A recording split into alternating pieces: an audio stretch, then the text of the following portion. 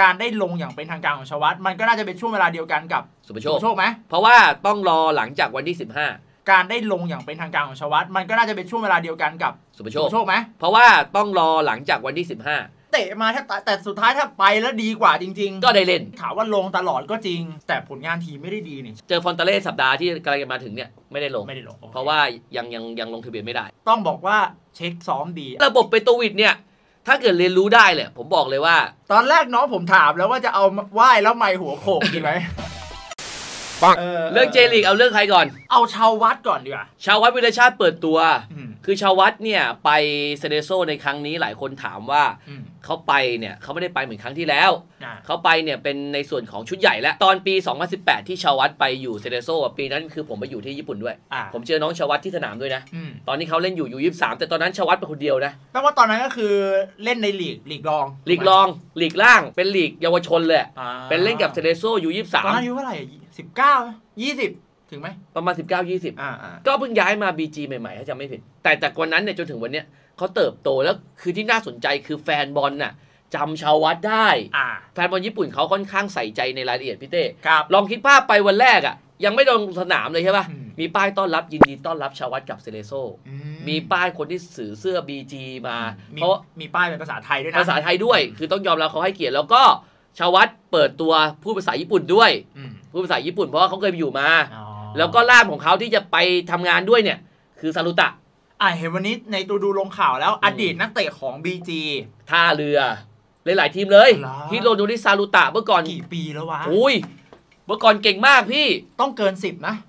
ไม่ถึง5-6ปีที่แล้วหรอคือซารุตะเนี่ย ผมเล่าอย่างนี้ว่าผมอะตอนปี 2018อะมันเป็นปีที่ซารุตะเขากลับบ้านพอดีเขากลับไปอยู่ญี่ปุ่นเขากลับจากไทยแล้วเขาอะ เขาตอนนั้นเขาไปอยู่ฮิโรชิมาอืมเขาเป็นเขาเป็นอยู่จะแบบแถวเมืองฮิโรชิมาวันนั้นผมไปเจอที่สนาม แล้วเขาก็เนี่ยมารับงานเป็นล่ามเขาพูดไทยได้ชัดเลย คือคุยไทยรู้เรื่องเลยคุยไทยรู้เรื่องชัดแจ๋วเลยอยู่ไทยมาเป็น 10 ปีอ่าซึ่งอย่างเงี้ยเชาว์วัฒน์ปรับตัวได้ง่ายโอ้และอีกอย่างที่สำคัญอะคือเชาว์วัฒน์ไปอะมันจะแตกต่างกับเคสสุภโชคไว้พี่อืมเพราะเชาว์วัฒน์รู้จักนักเตะในทีมอยู่แล้ว คือไอตอนนั้นที่เชาว์วัฒน์ไปเล่นเซเรโซ U ยี่สามอะอืมจนมาถึงชุดเนี้ยมันก็คือนักเตะ ชุดที่เคยเป็นเพื่อนเชาว์วัฒน์อะตั้งแต่ U ยี่สามหลาย ๆ คนขึ้นมาชุดใหญ่อืมเพราะฉะนั้นเรื่องของการปรับตัวไม่เป็นปัญหาอืมอยู่ที่ว่าจะจะได้โอกาสหรือเปล่า ซึ่งอ่าก็รองกัปตันทีมอะก็เป็นนักเตะรุ่นเดียวกับเชาว์วัฒน์เป็นอ๋อเพื่อนกันตอนเล่น U ยี่สามคือกลายเป็นว่าเรื่องของการปรับตัวในในในในเทียบกันระหว่างชวัตกับสุภโชคเนี่ยในเรื่องของการที่คุ้นเคยกับคนอยู่แล้วเนี่ยอ่าสวัสดไปทีมเดิมถูกต้องเพื่อนเพื่อนๆที่เคยเล่นอยู่ลีกรองอ่าก็ขึ้นมาชุดใหญ่อ่า ใช่เพราะเซเลโซเป็นทีมให้โอกาสนักเตะดาวรุ่ง อะทีนี้ไอช่วงระยะเวลาที่เราพอจะได้เห็นการได้ลงอย่างเป็นทางการของชวัตมันก็น่าจะเป็นช่วงเวลาเดียวกันกับสุภโชสุคภโชคไหมเพราะว่าต้องรอหลังจากวันที่ 15 15 กรกฎาคมคือเลขสองคือตอนนี้มันเข้าเลข2ไว้พี่ แต่คือฟุตบอลเจลีกฤดูกาลเนี่ยมันแปลกตรงที่อืมมันต้องเร่งให้เตะปิดไว้ เพราะปลายปีมีบอลโลกอ่าเพราะฉะนั้นเนี่ย ถ้าปกติอะเปิดเลข 2 มาปุ๊บนักเตะใหม่เล่นได้เลย แต่นี่มันยังไม่ได้ มันยังไม่ถึงช่วงเวลาของเขา อ๋อคือเตะไปก่อน อ่า แต่ช่วงเวลาที่จะลงได้กลับกลายเป็นว่าเอายึดตามวัน ตามเวลาเดิม แต่โยกใช่ แมตช์เดย์ในเลขสองมาเตะเร็วมันเตะเร็วขึ้น อ๋อเพราะว่าเดี๋ยวเขาจะไปบอลโลกไง อ่าเดี๋ยวมันมีที่กี่นัดกลายเป็นว่าเลขสองจะเตะ ไปประมาณสองไหมสามนัดโอ้ยเยอะเหมือสามกัะนัด แต่ก็เป็นข้อดีตรงที่เขาได้ปรับปรับตัวตัวไงก่อนเขาได้ปรับตัวทั้งเรื่อง speed ฟุตบอลความฟิตของร่างกาย ผมมองว่าอ่าดีนะอ่าแล้วเชาว์วัฒน์ผมว่าโอเค ไปเซเรโซเนี่ยอ่า squad ทีมคือนักเตะญี่ปุ่นทั้งนั้นเลยอ่าเพราะฉะนั้นเชาว์วัฒน์เบียดสนุกอ่เพราะว่าเซเรโซอะเซเรโซก็อยู่อันดับเหนือกว่าซัปโปโรไม่เท่าไหร่ แต่แต่อันหนึงที่น่าสนใจคือเท่าที่ไปดูสถิติของซีซั่นนี้มาอ่า รวมถึงปีที่แล้วมาเนี่ย อืม ไอ้คู่กลางของเซเรโซซาก้าเนี่ย แทบจะลงตลอดเลยนะ สองคนไม่เคยเปลี่ยน โอคุโนะกับทางฝั่งของลิกิฮารากาวะ อ่าใช่เห็นในทดเจ็บเสียทีเว็บอืม ทำข้อข้อมูลมา ไม่เปลี่ยนเลยคู่เนี้ยแล้ว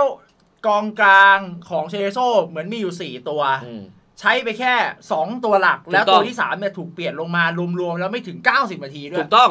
คือเนี่ยเบียดตรงเนี้ย เบียดยากเพราะโอคุโนะกับฮารากาวะแม่งคือกองกลางหนึ่งคนเคยเล่นฟรอนตาเล่อีกหนึ่งคนดังมากครับอยู่เซเรโซมานานอืมก็ภาวนาให้สองคนเนี้ยคนใดคนหนึงเจ็บ แล้วก็ลุ้นต้องไปลุ้นทางนั้นแต่เลยเหรแต่วะผมบอกว่าอะว่าเชาว์วัฒน์อาจจะมีโอกาสลงเล่นแบบ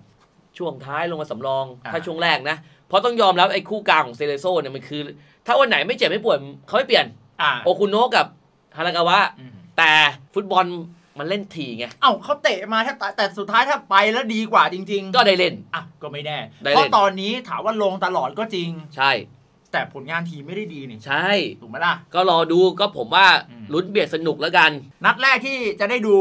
ลุ้นหน่อย คือเจออะไรเซเรโซซาก้าไอ้กลางเดือนเนี่ย จำไม่ได้เดือนจะไม่ได้เลย แต่นัดที่เจอเจอฟอนตาเล่สัปดาห์ที่กำลังจะมาถึงเนี่ยไม่ได้ลง ไม่ได้ลงโอคเพราะว่ายังยังยังลงทะเบียนไม่ได้ อะ เจลีกต่อเนื่องไปที่สุปโชคสารชาติ อ่า วันนั้นวันที่เราสองคนโชว์ฟอร์มในพื้นสนาม ต้องบอกว่าเช็คซ้อมดีอะไรอะไรอะไรมันได้ยินอะไรมา คือปรับตัวไวไว้ยพี่คือต้องพูดอย่างนี้ว่าสุปโชคไปอยู่กับซัปโปโรเนี่ยเขาไปอยู่ในช่วงเวลาที่ดีด้วย อืม เวลาที่ดีแรกคือ ไอตอนที่เขาไปเนี่ยซัปโปโรเปิดรับนักฟุตบอลไทยอยู่แล้วอืมเพราะพี่เจทำมาตรฐานไว้สูงมาก และคืออีกหนึ่งชั้นเนี่ยไปในวันที่ทีมงานข้างกายเขาอย่างพิธิเนี่ยอยู่กับซัปโปโรมาแบบ5 6ปีใช่ไหมอ่าแล้วเขารู้ว่าซัปโปโรเนี่ยไม่งจะซ้อมอะไรบ้างพอซัปโปโรรู้ว่าจะซ้อมอะไรบ้างเนี่ยพิธิก็ไปติวให้เช็คก่อนอ้าวก็จากปกติภาพตัดไปตอนพิธีกับพี่อยู่เจเซสชั่นแรกใหม่เซสหมชั่ดนสองก็ไม่รู้ คือไม่พิรู้ธีก็ใหม่ด้วยเหมือนกันนี่นี่คุยเรื่องน้องๆ ผมดีๆนะครับอ่านี่ไง ก็บอกแล้วแต่เขาวเมื่อไหร่เนี่ยจะได้คุยกับทิสั่งเนี่ยพี่ทีเขาตอบหรือเปล่า เขาจะชอบคุยแต่ในคอมเมนต์อย่างเดียว อยากคุยแบบเหมือนเวอร์ชันเออที่โทรคุยอะใช่ ก็รอเขารออยู่อ่าซึ่งพี่ทีอะอะเขารู้ทุกอย่างหมดแล้วไงครับเขาก็บอกเช็คได้ว่า เออเดี๋ยวเช็คนะเจออะไรบ้างอ่าให้เตรียมรับมือออ่าซึ่งเช็คก็ปรับตัวได้ เพราะว่าเช็คอะเขาเป็นคนที่เอาพูดตามตรงว่าเติบโต แต่อยู่แต่ฟุตบอลตั้งแต่เด็กอะพี่เต้เข้าใจปะตั้งแต่เด็ก academy จนถึงเล่นชุดใหญ่บุรีรัมย์ เคยเห็นซูเปอร์โชคไปเล่นเรื่องอื่นแบบไม่มีนะอืมฟุตบอลล้วนคือต้องอะอย่างในมุมกลับกันอะแฟนเฟซบุ๊กส่วนตัวของพี่ทีที่อัปเดตให้ดูบางเรื่องที่มันดูเป็นเรื่องตลกของการอ่าที่ปัญหาเล็กๆน้อยๆอย่างผ้าขนหนูอ่าๆเรื่องอะไรเงี้ยถามว่าโอเคในมุมหนึงมันดูเป็นเรื่องของการที่เขาเด็กมากๆใช่ แต่อืมมองอีกมุมนึงก็คือ ก็ตลอดชีวิตที่ผ่านมาก็เขาอยู่แต่ฟุตบอลไง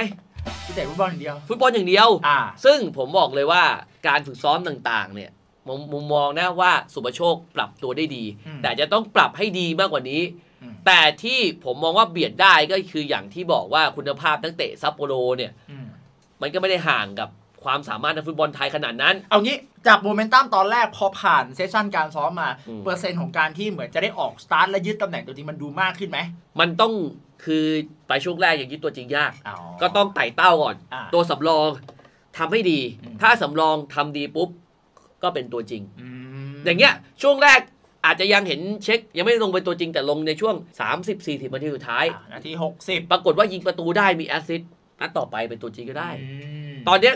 ผมว่าเรื่องของความฟิต speed ฟุตบอลอืมสำคัญเลย 2 อย่างนี้ครับแล้วก็ซัปโปโรอะผมนั่งดูซ้อมนะ ตัวรุกยังไงก็ได้เล่นอืมเพราะอะไรป่ะแม่งไม่ซ้อมเกมรับ ไปนั่งดูอะ ซ้อมโคตรเพลินอ่าโอ้โหแล้วบอลมันขึ้นกันแบบ ไอ้อย่างหนึ่งที่เอ้ยไม่ใช่สุประโชคต้องเข้าใจระบบ เพราะว่าซัปโปโรอะพี่เล่นหลังสามใช่ป่ะอืมแต่จริงๆ มันไม่ใช่เล่นอย่างนั้นนะอืมมันเล่นแบบ สมมุติว่าวิงแบ็กใช่ป่ะ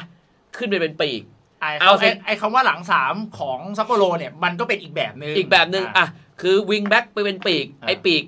ข้างหน้าเนี่ยขึ้นไปเป็นกองหน้าอ่าไอ้ไอ้เซนเตอร์สามคนแม่งขยับมาเป็นวิงแบ็กอ่าเอากองกลางมาเป็นเซนเตอร์เหลือสองคนอ่าคือน้องเช็คต้องเรียนรู้ตรงนี้แหละอ๋อถ้าเรียนรู้ได้ เพราะว่าระบบเปโตรวิชเนี่ย ถ้าเกิดเรียนรู้ได้เลยผมบอกเลยว่า มันเข้าใจได้ง่าย อ่าแต่ช่วงแรกอาจจะยากหน่อย โอเค แต่ผมเชื่อว่าสุปโชคอะด้วยการที่อย่างที่ผมพูดว่าสู้เขาได้นะ เขาไปตั้งใจอะแล้วเขาโฟไม่แล้วกัล่าสสุดเห็นลูคัสเจ็บอีกไง ลูคัสเจ็บอีก เพราะฉะนั้นเนี่ยตัวเลือกในแนวปีกก็เหลือน้อยไงอ่าลูคัสเจ็บโอกาชิวะก็อ่า เจ็บ แล้วโปรแกรมหลังจากเนี้ยเตะทีไง อ่า ลุ้นสนุก โอ้โห วันนั้นผมเห็นแฟนบอลขนาด ตอนที่ผมพาซัปโปโรเจอกัมบะล่าสุดอะขนาดจะไม่มีสุปโชคนะ คนดูก็คนดูกลับเหมือไปนเหมือนอะเหมือนคนที่พยายามจะเข้าไปดูโดยที่เหมือนทำความรู้จัก เออเออ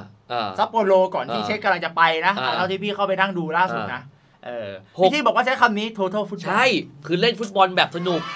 ถ้าก็บอกว่าตัวลุกที่ไปอยู่ซัปโปโรได้ได้เกิดแน่นอนได้เล่นอืมอืมก็คนดูซัปโปโรอะห้าหกหมื่นคนใน YouTube อะอืมถือว่าเยอะนะอืมแล้วก็รอดูผมก็ติดตามแล้วได้เห็นคลิปป่ะ ที่เช็คไปเปิดตัว อ๋อเท่ปะสวัสดีครับ ผมเช็คครับ เรียกสั้นๆว่าเช็คเช็คอะไรสักอย่างนะนึกว่าเช็คคือเช็คกี้ไปอ๋อเรียกผมชื่อเช็คครับ เรียกสั้นๆว่าเช็ค เรียกยาวๆว่าเชฟบะแทดแทดแทดแทดเฮ้ยแต่ชอบนะ พี่ดูบรรยากาศชาววัดกับสุภโชคเปิดตัวเฮ้ยมันเท่นะเว้ยสวัสดีแล้วก็ใส่คืเสื้ออฮูดอะอันหนึ่งที่รู้สึกคือเขาสองคนไปในแบบไปเล่นช่วน่ะงเวลาที่ถูกต้องถูกต้องอย่างไอชวัตก่อนอันเนี้ย ไปก็รู้เลยว่าไปในฐานะของการที่ไปในฐานะของแบบเด็กอะถูกต้องแต่วันนี้เหมือนเขากลับไปในวันที่ผู้ใหญ่เขาพร้อมจริงๆอ่าทั้งคู่เลยเขาจึงบอกอะไรเลยเรื่องมันเป็นจังหวะจากโคนนะ ใช่ใช่เป็นจังหวะจากโคนนะ ก็ถือว่า จะทำให้เจลีกเนี่ยสนุกแน่นอนติดตามสุประโชคสารชาติเนี่ยครับอย่างที่ผมพูดว่าตำแหน่งตัวลุกในทีมซัปโปโรอะอืมมีโอกาสได้เล่นเยอะมากอืมอืมๆเพราะเขาเป็นทีมที่อะทีมบ้าอะไรพี่อืมมันมีกองหลังธรรมชาติอยู่ตัวเดียว 11 คนน่ะอ่าอ่าเกมล่าสุดเนี่ย มันมีกองหลังคนเดียวนะอ่าที่เป็นธรรมชาติ นอกนั้นมันเหมือนเล่น FM อะ เอาคนนู้นคนนี้เหมือนผม เอาคายวอลเกอร์มายืนเพนเตอร์สามคนอะไรเงี้ยอ่าซึ่งสุภโชคเนี่ย ต้องเล่นได้หลายตำแหน่งเอา อย่างสุภโชคนะวิงแบ็กก็ได้ เพราะวิงแบ็กซัปโปโรมันไม่ใช่วิงแบ็กแบบเล่นเกมรับเป็นประกองกลางมันคือวิงแบ็กที่ขึ้นไปเล่นเกมลุกอ่าปีกก็ขึ้นไปเล่นกองหน้าอะไรเงี้ยที่ว่าพลศักดิ์อภันธ์บอกว่า ตอนแรกน้องผมถามแล้วว่าจะเอาไหว้แล้วไม่หัวโขกดีไหมเออทำไมไม่เอาอะเออทีนี้อุ๊ยยอด engagement เยอะเลยนะ แต่แต่เดินเข้ามาแบบ สวัสดีครับบอสเราหัวชนไม่นะเฮ้ยแต่แต่เท่นะ แล้วก็พอเช็คพูด พูดจบปุ๊บพิธีนะ เสียงเขานุ่มๆนะเออเฮ้ยสิงเกิลมาเฟิร์สเฟิร์สสิงเกิลอะไรอะไรภาษาอะไรเดี๋ยวเดี๋ยวเยี่ยมกันได้แล้วจะไปว่าสิงเกิลโฟร์เอาก็เอาเป็นว่ารออัปเดตความเคลื่อนไหวไปเรื่อยๆ แล้วกัน ก็รอดูให้กำลังใจกันสุดท้ายแล้วอะผมไม่อยากเห็นในคอมเมนต์ชวนน้องกลับบ้านอะอย่าให้เขาสู้ คือบอกแล้วว่าสุดท้ายแล้วอะ ตอนเนี้ยทีมชาติไทยครับอยากถ้าจะประสบความสำเร็จอะอืม เอาแค่ตัวไทยลีกไม่ได้แล้ว อืมตัวไทยลีกมันสุดก็คือยุคโคชซิโก้แหละอ่าใช่นั่นแหละคือสุดแล้วหมดแล้วหมดแล้วหมดแล้วหมดหมดเขาเรียกว่าหมดหมดหมดช่วงเวลาพีคของเจนัทละ ใช่ถ้าเกิดจากจะประสบความสำเร็จในเอเชียอืมก็ต้องหวังเนี่ยสุประโชคชาววัดพี่เจชนาทิพย์อะไรพวกเนี้ยที่เขาไปอยู่ในเจลีกอยู่ในยุโรปอะอืมเออ นะครับ